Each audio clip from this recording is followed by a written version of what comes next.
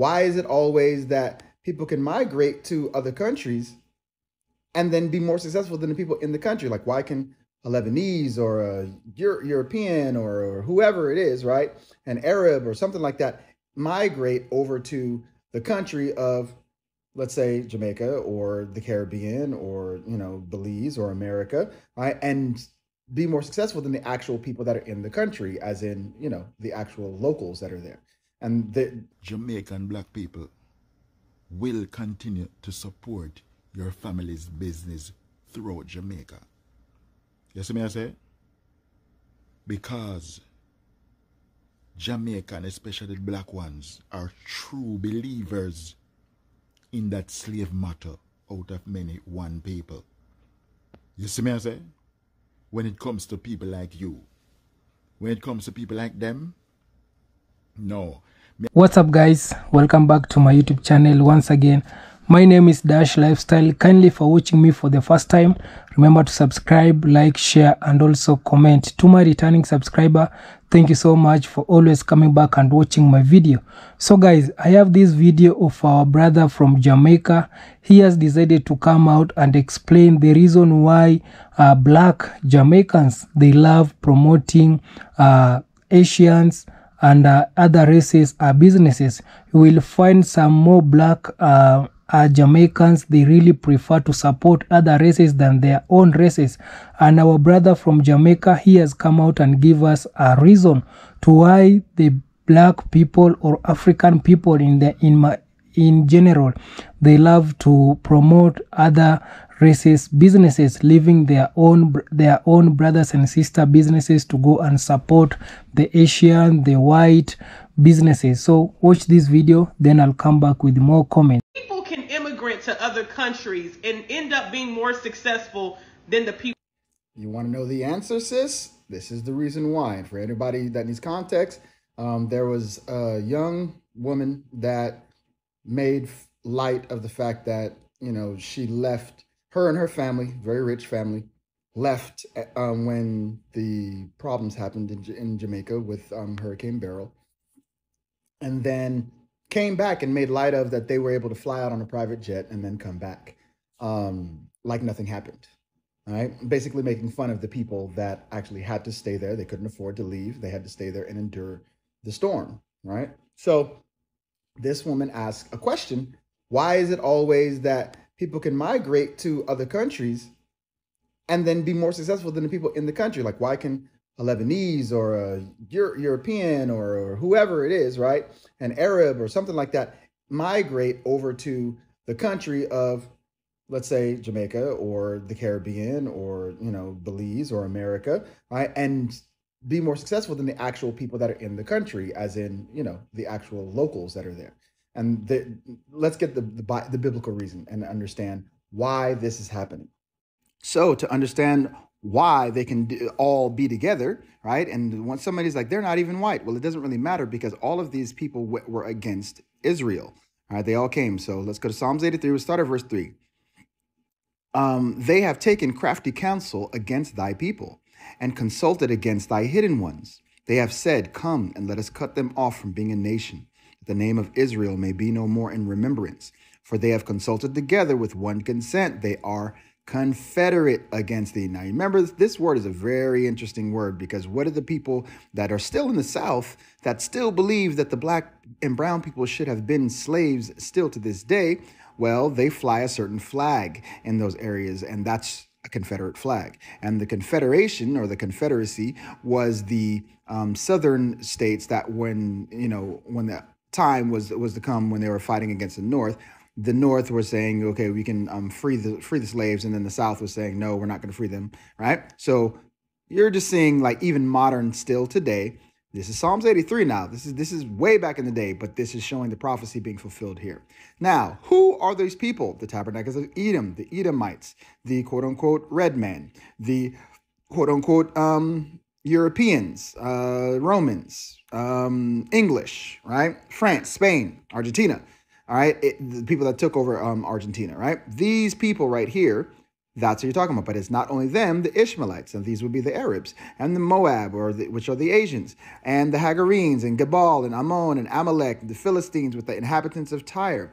Ashur also is joined with them. They have hope in the children of Lot. Selah. Do unto them as unto the Midianites, as to Sisera, as to Jabin at the brook of Kison. So basically, destroy them. He's, um, David, um, Solomon, I mean, Salakia, David is asking the Most High to come against these. But let's find out why did they make this tumult? Why did they make this agreement to come against us as a people? Why were they able to be successful? This is why. But it shall come to pass that if thou wilt not hearken unto the voice of Yahweh thy Elohim to observe and to do all his commandments and his statutes, which I command thee this day, that all these curses shall come upon thee and overtake thee. This is Deuteronomy 28 right? And so let's, let's look at some of these curses. Curse shall thou be in the city, curse shall thou be in the field, curse shall be thy basket and thy store. This is why they are able to be more successful than us because we went against the Most High's commandments. We broke them, and therefore the Most High took his covering away, and they were able to take over our everything. They were able to take uh, our children. Curse shall be the fruit of thy body, and the fruit of thy land, right? Now this is goes into why we were in slavery. Thou shalt grope at noonday, and as the blind gropeth in darkness. That's just picking cotton and sugar cane and doing all those things. All right, we betroth the wife, and another man shall lie with her when they would take our wives, and then they would um, send them off, or, or the slave master would come and sleep with them. This is why and why we and why we couldn't keep our children thy sons and thy daughters shall be given unto another people and that i shall look and fail with longing of them all day long and there shall be no might in thine hand we were powerless to actually stop them from doing these things and therefore shalt thou serve thine enemies, which Yahweh shall send against thee, in hunger, and in thirst, and in nakedness, and in want of all things. He shall put a yoke of iron upon thy neck until he have destroyed thee.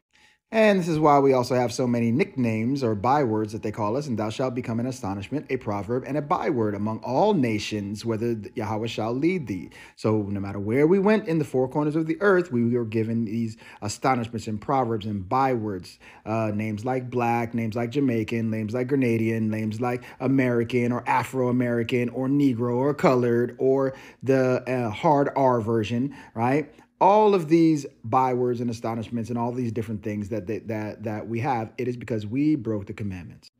So don't get mad at them for just being evil and wicked like they are. They have other gods. They don't have our same god. Their gods tell them to do certain things which the most high told their god to tell them to do certain things. Why? Because we needed to be punished for being wicked and going against him and serving their gods. It's like, okay, well, if you want to serve them, fine, go ahead and serve them but I'm a I'm a bush ass because he loves us and he will chastise the ones that he loves. That's why he whooped our butts. They'd be wicked. They don't they don't have any problems. Right? They're still able to run the world, and do all those things. We get wicked, we get punished. Why? Because we're his favorites, we're his chosen ones, we're his hidden ones. We are the ones that he came to. And if he came to us and we didn't do what he said, and we made this agreement, right? If we didn't do what he said, then we would get the punishment. So this is why we are in the um, socio-economic and financial position that we are in the world, all in the four corners of the earth. So don't play victim now.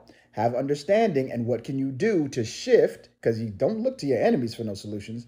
Look to your God. Look to your your Elohim. Look to your master. Your master gave you laws. So go back, learn the laws, right, and then you'll make the cut. And when the flip comes, when the Messiah comes down and the, and the, and the um, skies roll back, right, and all the angels come down, and uh, there's the flip and the Edomites and um, all those nations that were against him and two thirds of Israel, when they get destroyed, and, and those who make the cut and make it into New Jerusalem, there will be some that will be handmaidens and servants of the other nations, right, and the rest of them are going to be destroyed, just like the rest of us are going to be destroyed, who doesn't inherit the, the kingdom. So stop acting like a victim all right. Stop acting like you didn't deserve this. We all deserve this. All right. And what we have to do is make it up to our Father by following his commandments, going back to his ways. So that when the flip comes, we're back on top. We were on top at one point in time. We messed it up. So now it's going to be our time. All right. But you're not going to make that cut if you're out here serving money. You're not going to make that cut if you're out here serving vengeance. You're not going to make that cut. Now, what you can do practically as well, stop stop buying from these people. Just stop buying. Next, every Jamaican, whoever, stop buying. Everybody just boycott it forever and ever and ever and ever and ever. Just don't go to them. Don't buy from them. Don't buy from the people that they um that they sell to. Research, study to show yourself approved, right? Well, study also who do they serve? Who do they actually give their goods to? Boycott them too. Farm your land. Find land. Farm, right? If you, oh, we, we need food. Okay, well then farm. Go off to the wilderness. Farm. Live off the land, right? You, there are people around that have places for you. I have a place in Grenada for that you can go and farm. right? So go. Leave. Stop. Or starve. If you're not willing to, to unalive for the sake of the Most High or the sake of the Messiah literally said, if, if you if you love your life more than me, then yeah, you're gonna keep your life, but then you don't get the second death. Right? You're not worthy of him. So we have to shift ourselves. We can't be looking to the enemies and the wicked people, the ones that have been designated to be at the belt of the Most High to whoop his children.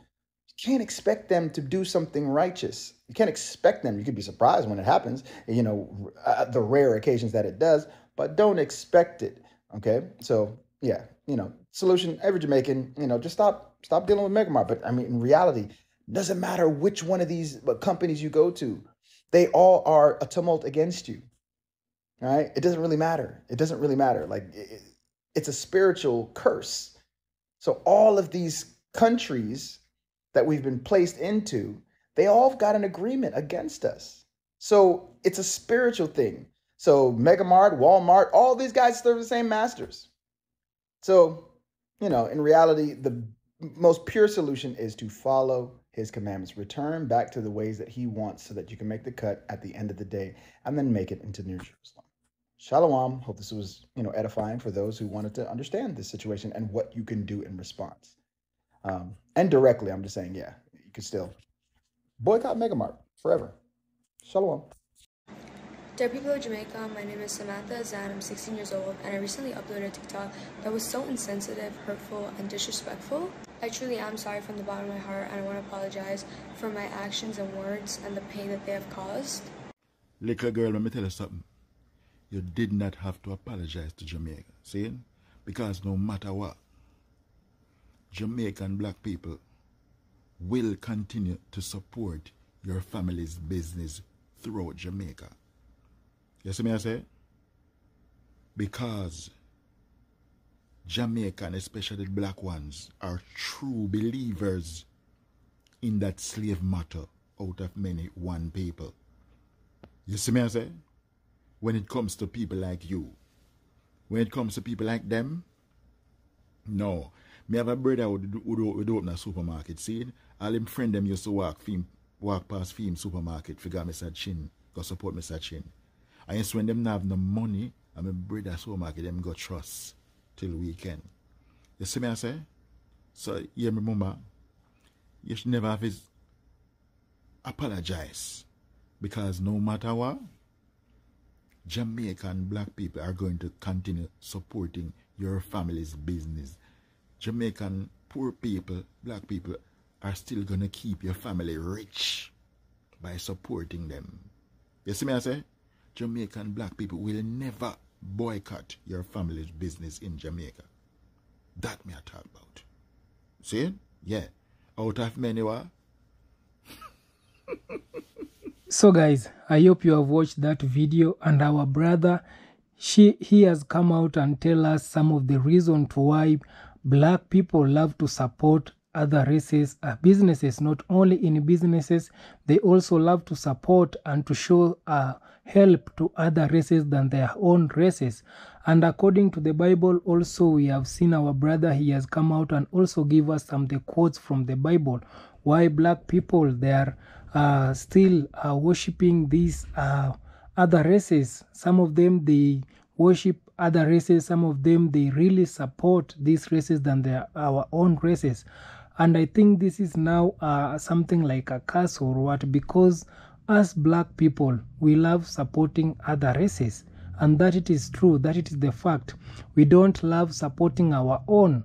And that's why so many people so many uh, people from other races they're taking advantage of us supporting these other races. I remember there's a video i did in my videos. You can go and check my previous video of a chinese man a chinese lady in jamaica she was telling uh, the fellow black uh, Jamaican that us black people, black Jamaicans, we are very stupid, or the African people, black African people, we are very stupid because we love supporting other races than our own races. And this lady, she goes ahead and saying, you black people, you cannot support your own businesses. You don't want to support your fellow brothers and sisters. You love buying or do some shopping to uh, other races. Like, for example, we love shopping to the Chinese people. We love shopping to the Indian people. We love shopping to the Japan people. We love to do shopping to white people. And we leave our own and because of that these people now they are calling us. We are very stupid people. The same way here our brother from jamaica he has come out and tell us we need to support our own. For these people to respect us we need to support our own. We need to buy from our brothers and sisters we need to uh, give support to our brothers and sisters we black to black we need to come together. We need to unite so that we can uh, support each other because when we unite when we will come together these people they will respect us. These people will fear us. And that's why you will see uh, in this video there is a lady from uh, there is a lady from uh, uh, from Azan family. This Azan family is a Lebanese uh, family. They migrated from Lebanese Lebanon to come in Jamaica. They have stayed in Jamaica for more than 20 years and for them being in Jamaica, they have done. Uh, uh, they have a big businesses in Jamaica. Now they are among the 21 families, uh, the 21 rich family in Jamaica. So the member of this uh, family, a lady, she was doing a video of her just ex- uh, abandoning Jamaica to go in United States. So during the hurricane, so after the hurricane passed, now she made a video of her using a private jet. So she she was reading this comment that I'm coming to Jamaica after a hurricane, after abandoning Jamaica for hurricane. So you can see how these people now they are taking they are taking uh, advantage of Jamaicans. So when the Jamaicans they have problem, they will not stay. They will not help the Jamaicans. Instead of them staying and and uh, try to help Jamaicans. Now they're the first people booking the private jet going to hide in the other country where they think they, they is safe. When Jamaica it is uh, on the wrong side, they are uh, they leave Jamaica, they are heading to other country. So this lady she moved she ran away from Jamaica. She abandoned Jamaica because of hurricane it was coming in Jamaica. Now the hurricane it has passed, it has done some a little of destruction in Jamaica. Now she's making a video that I'm coming back to Jamaica after a hurricane it has uh, it has passed the hurricane it has it didn't uh, done so much destruction as she was thinking that the hurricane it was uh, it was coming to do a, a lot of more destruction in Jamaica. So guys, you can see how these people now they are are taking Jamaican for advantage. And you know, these people, this this Azan family, it has a big businesses in, in Jamaica. And the people who are promoting them, the people who are supporting them, they are these black Jamaicans. And you can see how these people now they are taking you for advantage. This means that they are in your country for just uh, making some money. When they get this money, they will leave your country. They will not invest furthermore in your country. It is like the also the Asian people, the Asian immigrant who are who they are uh, coming to Jamaica. They are they are opening some businesses in Jamaica. After them getting this uh, big this money in Jamaica, they will not invest in Jamaica. They will invest all the money to their country. Same as how they are doing here in Africa. They are coming here in Africa. They are employing our people, our local people, but they they are not paying them uh, good money good wages they are paying them low wages. And when these people they get also this money they are going to invest in their country. So it is the highest time that guys we should come together we should support our own. So kindly guys subscribe if you haven't like this video share and also comment. See you on my next one. Bye bye